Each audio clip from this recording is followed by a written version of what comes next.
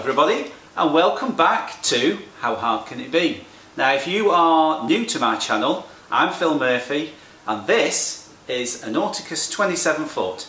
She was born in about 1971 and I'm in the process of starting a, re, a restoring uh, from the beginning right through to the end. So, shall we get on with the episode? I think so. No, I'm missing something. Can't remember. I know what it is. Cue the music, John, please.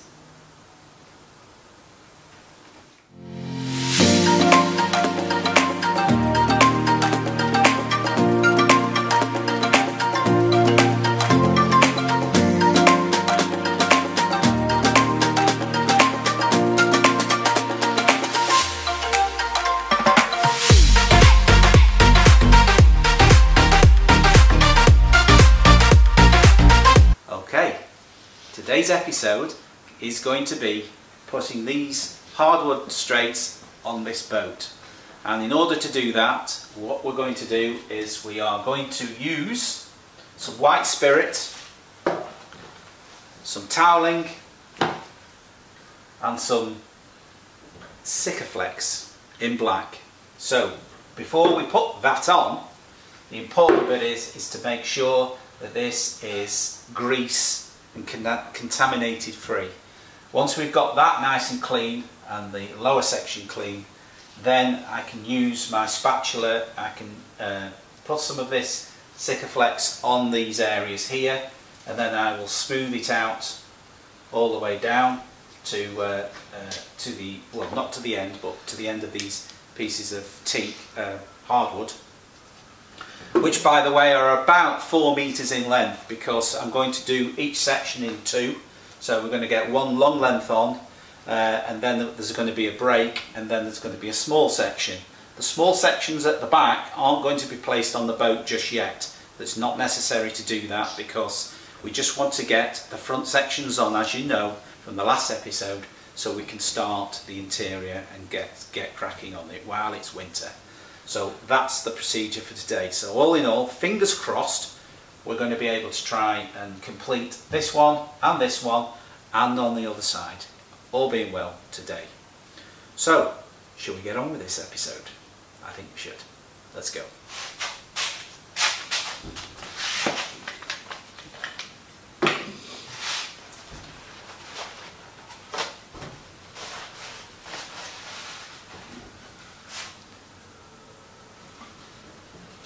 I'm just using standard white spirit.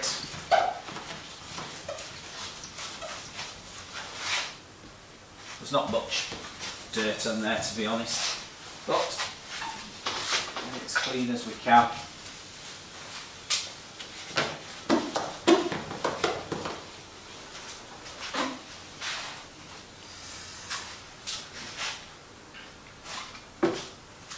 Okay, so that area now is uh, all nice and clean. So it's time to put this, uh, I keep remember, forgetting, uh, Sikaflex on the boat. So I'm going to basically uh, put a bead over the top of the hole all the way along till I get to the end of where I want to go and then I'm going to come back and do a secondary white bead and go under the hole so then it's nicely uniformed on both areas. So I'm going to go get moving on it now. Good luck. Thank you so difficult to squeeze out as well.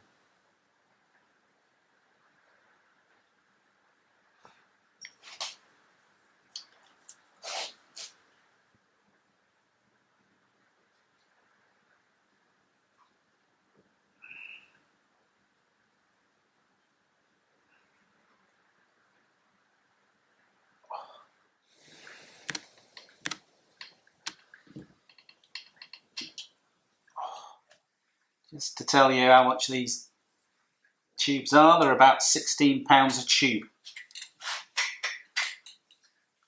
So they're not cheap. I suppose they do the job well.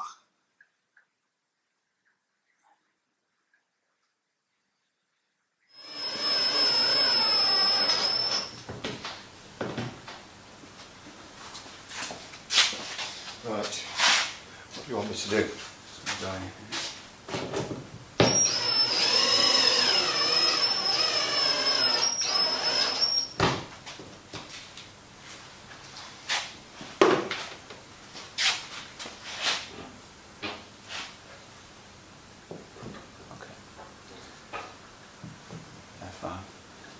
So you're going to screw these into place, one side and the other. Inside. Inside. You'll use this. All right. But what we'll do first is we'll bolt, we'll bolt up there and work my way along. Right. Okay. Um, Uh, did you put the... yes, it's up there. Okay, on. Are you ready, Eddie?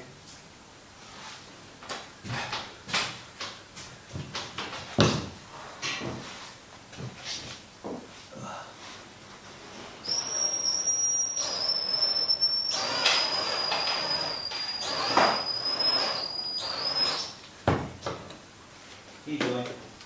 Is it coming? Yeah. No movement on this side. I'll do. Let's see how that goes. So this one just straight in with it, it's all the way through. Yeah.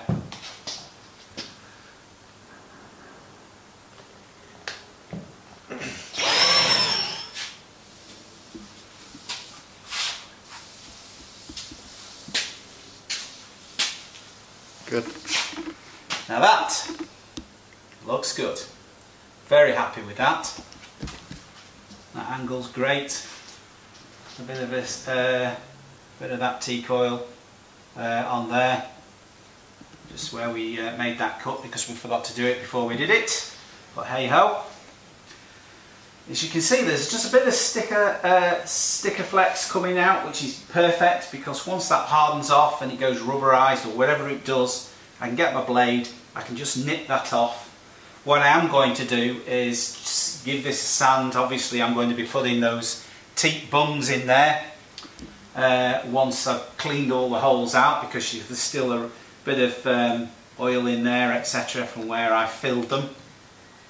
And then it's going to have a, um, a brief sand over it and then it's going to have one final coat and that will be that will be there for many a year, fingers crossed. Anyway. Solid. Solid as a rock. I felt it as I was tightening them up. There was it was going nowhere, and it's so neat from the other side as well. It looks great. So perfect. I think we'll go in and have a look. Well, we'll have a look once we get this one on. Okay? Yeah. We crack on? Crack on.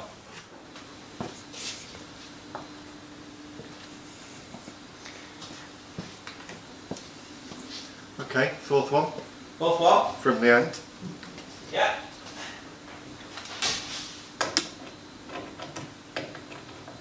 Ready? Yeah. You're you're drilling it in with the electric drill, aren't you? Yeah. Yeah.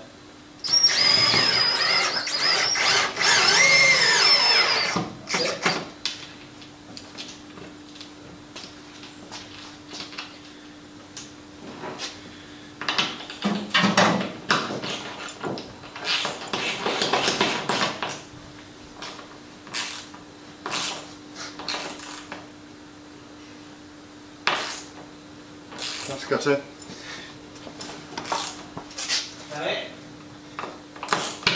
Just look, look and feel it. Yeah, it's trying to turn it. Okay.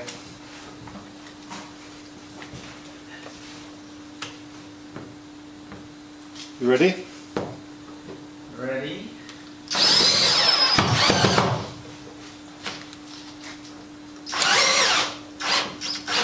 It's fine.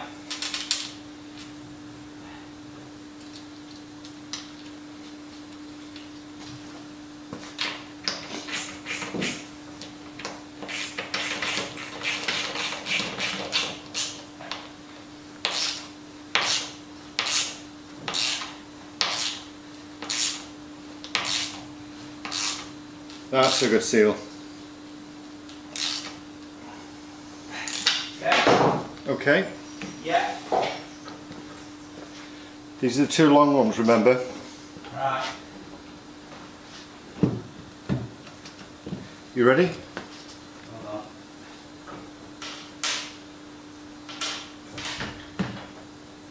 Ready when you are.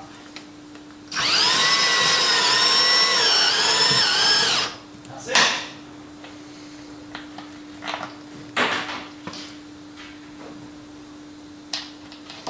Got it.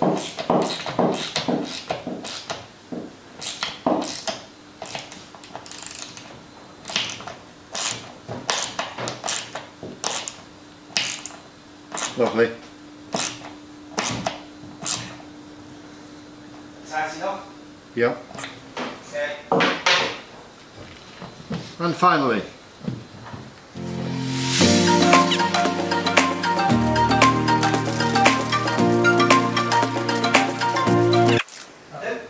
lovely, got it.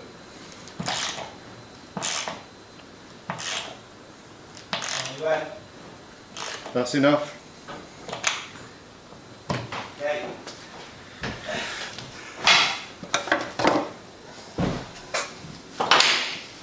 Come on down and have a look at your handiwork.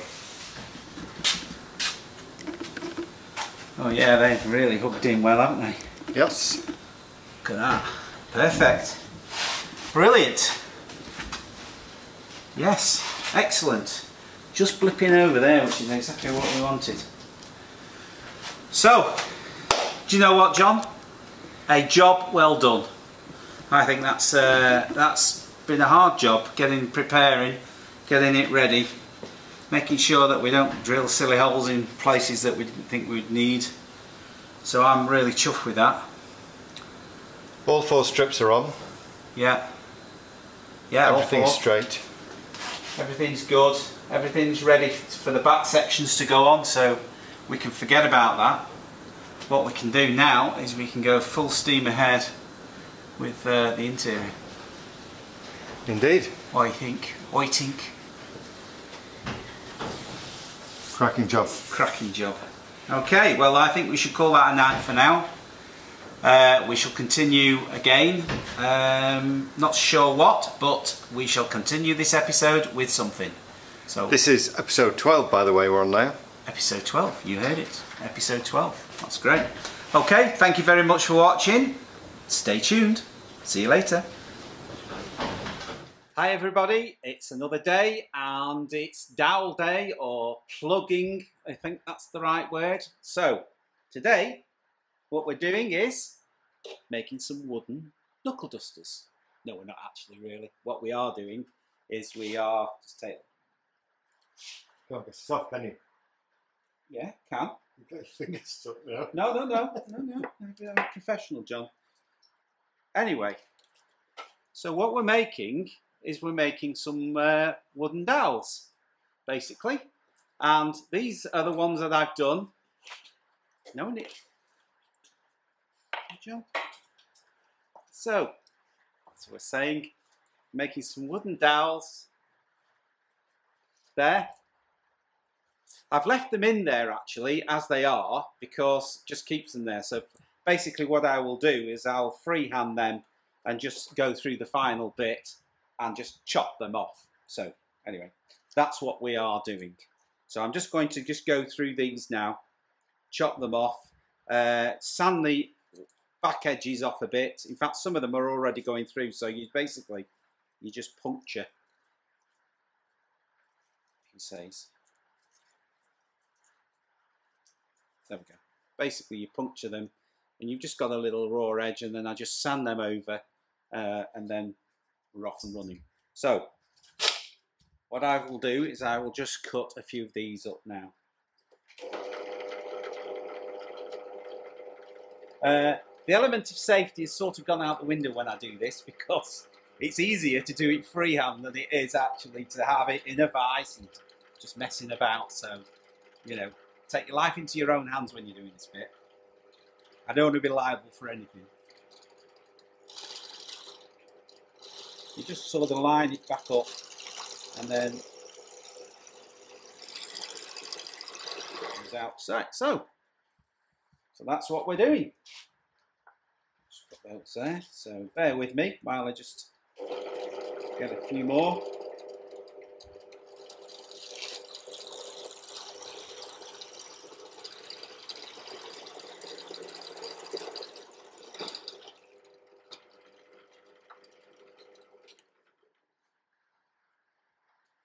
this piece of wood that uh, I've done here, uh, there isn't sufficient to do the whole of the boat. So what I did is I used a jigsaw uh, just to cut uh, one of these pieces of waste that were off the boat.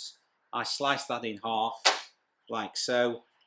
It's not overcritical to be um, the, the correct width because uh, some of these will be, well, most of them will be standing proud. I haven't got a problem with that because once the glue's set, I can then slice them all off because it's going to get a, um, a sander over it anyway. So I'll basically show you what I did with that piece, with this piece. That side is always that side is flat anyway because of the way it was when I got it. Uh, it was pre-planed, so I use that as the top and I cut down from that. So economically, this is why you need to do it freehand, really. Well, I do anyway. As I sort of go to the furthest point as I possibly can, score it, I can see where the circle is, and then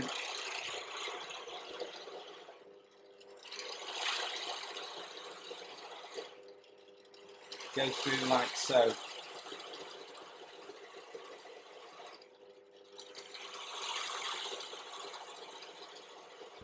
Try not to go, well, I could go all the way through if I wanted, but just to keep them together, I just basically go as near enough to the, uh, in fact I'll, I'll show you how far I do go. With it being hardwood as well, you can't over pressurise it because it, as you just see then, it stops it. There you go. You can just see a little imprint of it there. So I just leave that as it is. And then I go to the next section there, which is there. To go as close to the edge as I can. Just to get the maximum out of this piece of waste, really.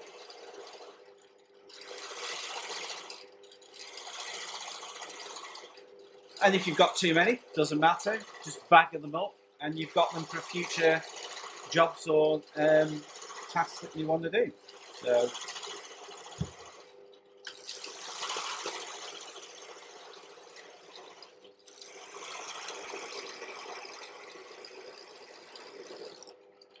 In fact, I've gone right the way through with that one. So I won't touch that one because I know for a fact previous experiences it's hot. So there we go. We've got some of these dowels. I have a got a few here anyway. So I'll just sand those little edges off and then I shall um, put them in and show you what I do. Okay. Okay, so I'm using some uh, wood adhesive. It's a weatherproof one. So uh, it's useful for um, outside as well as inside. Uh, I'm hoping this is going to be, uh, well, it's going in that hole anyway, so it's... How much is that, Phil? Uh, yes, you do ask me these questions. Uh, I haven't... been asked to ask you. Right, well, we'll have to do it uh, another time because I haven't got that. Um, I haven't got that bill. So, I'll keep reminding you. yeah.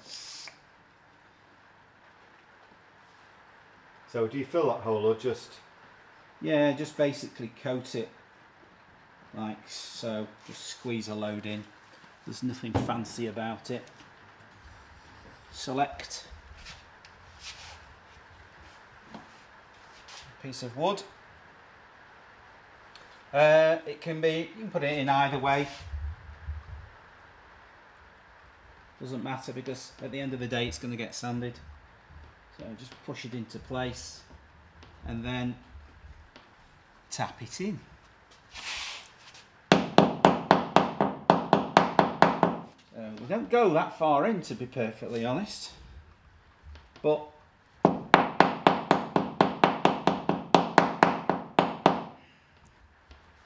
I'm hoping that's going to hold. Is that making contact with the screw? I don't know. The screw head. I don't know. Get a bigger hammer. Yeah, yeah, go straight through the bolt. Yeah, I think that's fairly, fairly firm. I mean, those those bolt heads are round, so they do protrude this way. Maybe in hindsight, we might have been better getting flat-headed ones rather than round-headed ones. Um, that's the only uh, that's the only other thing. But you know what? They're in. We can't take them out now because of that um, sick Sikaflex.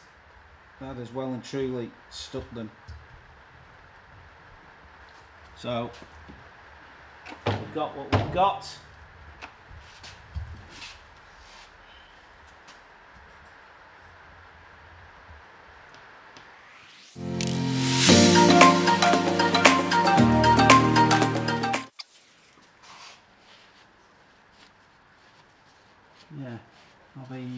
Lot happier once these have dried because at the moment I'm not overly enamored with them to be honest. They've gone in alright but they were quite small compared to those. So I'll just have to wait and see whether that's uh, they're going to work. I'm not so sure yet. I Would have preferred them to have gone in more, but I think it could be the fact that I might not have drilled them far enough. But then I run the risk of, as you tighten, if it's too far to the there, you could split the wood. Exactly. So it's a catch twenty two with that. But It could be that I've used too much glue. It could be that I've used too much glue as well. So what I will do is I will uh, I'll let these set and then I'll I'll cut them off and I'll just let's I'm going to see how tough they are. In fact, I might even try and drill try and pull one out to see how well it has adhered to give me an idea of the rest of them. Sacrifice one of them anyway because this one is a crucial one because it's although I now don't think it's going to be below the waterline it's going to be constantly wet because um, you know the fact that the water can't be that far away because but that sticker flex that's tremendous. That's really uh, stuck well. And even if those strips were taken out there's no way you're going to get that piece of wood out.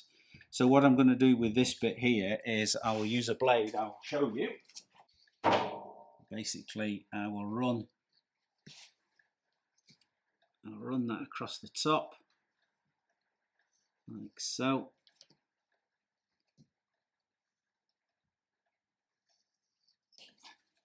And then I shall score it this way.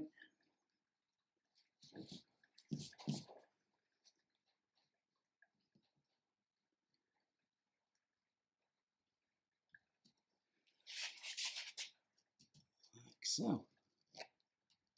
I mean I don't need to be as critical as that because I'm going to be running a bead over this side and the underneath anyway to stop any just as a double security of any weather. Silicon, silicon bead. uh, possibly silicon bead but you know domestic silicon isn't when you're dealing with the waterways it can it can destroy that.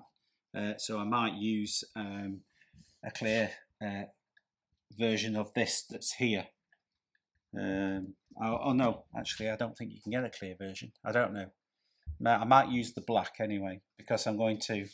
You you can't hardly see it when it's against the blue. So anyway, I am going to seal it with something. Let's put it that way. Really. Okay, so as you can see, dowels are in. They are glued into place. Uh, I shall be back in the morning to see how they've got on. Uh, hopefully, uh, I've uh, I will be able to just take these nibs off uh, and then I will give it a, a, light sanding and we'll see where we go with that. Uh, obviously, uh, that will um, give me the opportunity then to give it another light coating so then everything all marries up. I've just got the ends to do as well, uh, which I didn't do before. Uh, and that's that, I think, my friends, uh, should conclude this episode. Thank you so much for watching please like and subscribe, give me the thumbs up. And if it's your first time that you've watched me, um, you know, thank you for for watching. Do have a look at the previous episodes. As I said to you before, um, you know, this is something that we're going to continue right the way through to the end of the build. And then once we've done that, hopefully next spring, it'll be on the water and then we'll be able to do some uh, videoing of uh, going up and down that Lancaster Canal. So thank you and goodbye.